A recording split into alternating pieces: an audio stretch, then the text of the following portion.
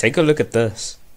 在海边啊，发现了这个东西，有没有认识的大家人们啊？看一眼，浑上下全都是刺儿，而且是紫色的，相当大了，相当大的。有没有认识的？这东西能不能吃？告诉我，我是否给他拿家去？有没有毒啊？这玩意儿能吃不？看上去挺。Yes, this thing is real, but this Fallout-looking creature is called the red king crab. or the Alaskan red crab. Now, as the name suggests, they're native to the South Gulf of Alaska, but it was later artificially introduced into the Barents Sea by the Soviet Union to, you know, give European fishers a new catch.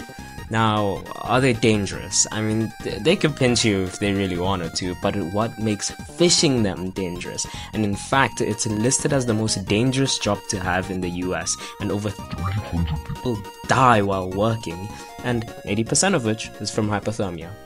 The more you know.